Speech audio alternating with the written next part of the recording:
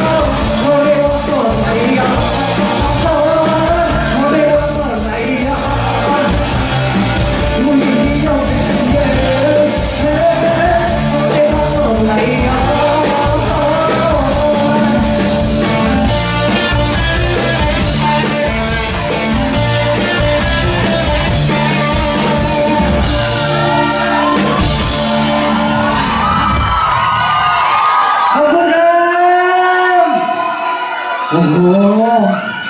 เป็นคอนเสิร์ตที่อบอุ่นมากเลยนะโอ้โหกรีดกันแบบว่า